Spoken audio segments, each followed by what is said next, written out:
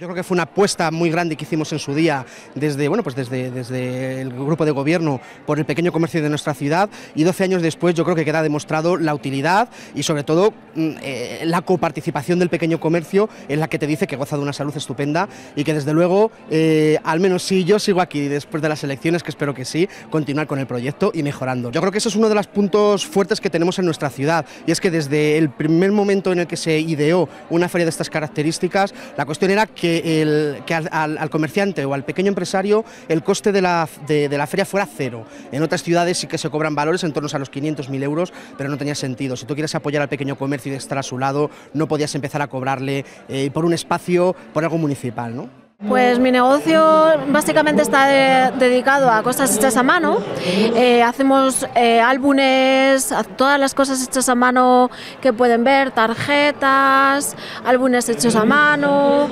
copas, cartonaje y sobre todo también regalos para eventos, comuniones, bodas, bautizos, damos talleres, sobre todo también celebramos cumpleaños. Es un negocio bastante amplio, con bastantes eh, posibilidades. La verdad es que está muy bien la iniciativa, nos ayuda bastante a, los pequeños comercios a que nos conozcan un poquito en el, en el municipio. Disfraces y artículos de baile para divertirnos. En Fuenlabrada tenemos fama de mucha fiesta, ¿no? Pues nada mejor que unos disfraces. Tenemos un poquito de todo y de todos los rangos de precios y de todos los rangos de calidades. Estamos en la calle Palencia, en el número 10. La verdad es que está muy bien para el pequeño comercio, para darnos a conocer está muy bien. Inauguramos en enero y la verdad es que estamos muy contentos por la acogida que hemos tenido en Fuenlabrada.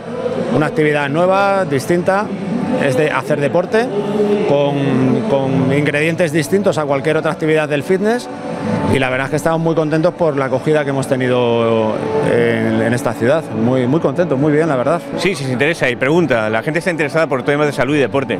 Entonces, todo lo que sea desgastar, eh, mejorar en condición física, la gente está muy interesada. La verdad es que sí pregunta. Pues la verdad es que está bastante bien, nos da la oportunidad de darnos a conocer más a Fuenlabrada.